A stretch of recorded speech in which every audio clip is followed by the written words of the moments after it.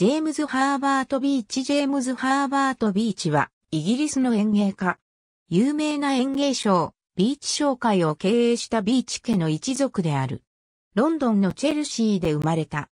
父親は、プラントハンターとしても知られる、ジョン・グールド・ビーチで、ビーチ商会の創立者、ジョン・ビーチからは4代目の人物となる。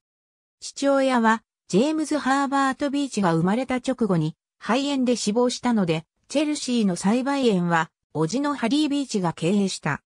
メイドンヘッドのクロフォードカレッジで学んだ後、ドイツ、フランスで技術を学び、1885年からチェルシーのビーチ商会の栽培園で働き始めた。1889年にロンドンディンネ協会のフェローに選ばれ、王立園芸協会のフェローにも選ばれた。ビーチ商会の栽培する植物の種類を増やす方策を探るために1891年から各国の公立の植物園、個人の園芸施設などの視察旅行を行った。ローマ、ナポリ、セイロン、トゥティコリン、ラホール、カルカッタを経て、東南アジアのペナン島へ渡った。ペナンでは、ビーチ紹介のプラントハンターといて働いた後、ペナンの植物園で学芸員となったチャールズ・カーティスを訪ねた。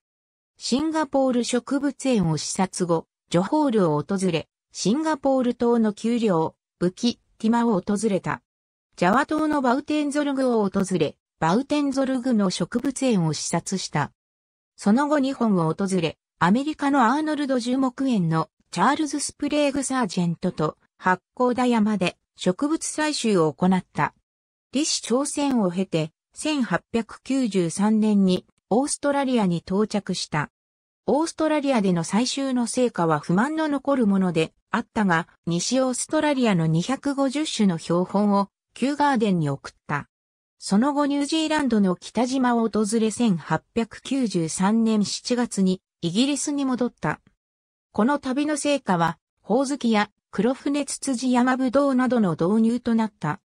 旅行中の1892年3月から1894年12月の間、ガーデナーズクロニコル氏に訪問した庭園に関する記事を連載し、1896年に A トラベラー、S ノーツとして出版された。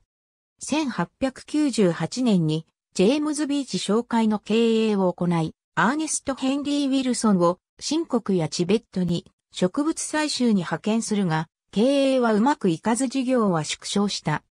1907年にジェームズ・ハーバート・ビーチが39歳で没すると、事業は弟ジョンが引き継ぐが、ジョンにも経営能力がなく、叔父のハリーが経営に復帰した。ジョンの没後、事業は閉鎖された。J.H. ビッチは植物の学名で命名者を示す場合に、ジェームズ・ハーバート・ビーチを示すのに使われる。ありがとうございます。